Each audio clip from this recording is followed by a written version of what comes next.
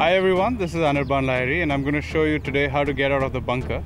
Quite often when we get in there, we get a lie like this, most often known as a plug ball or a fried egg.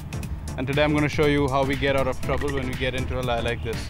Uh, one of the first few things that we do when we have a lie like this is, is to make sure that we get our feet dug in nicely into the ground because you want to get well below the ball to, to get it to pop out.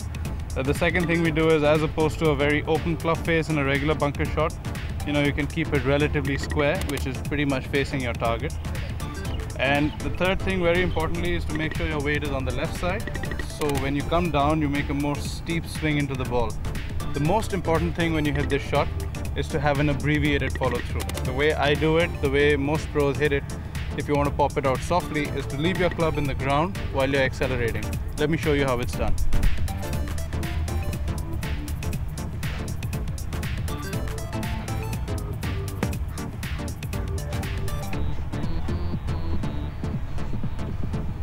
And that's the easiest way to get out of that line.